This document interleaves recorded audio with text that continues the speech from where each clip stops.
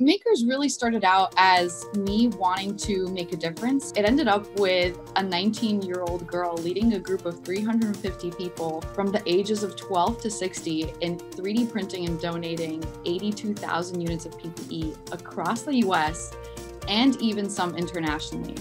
That was a crazy experience for me.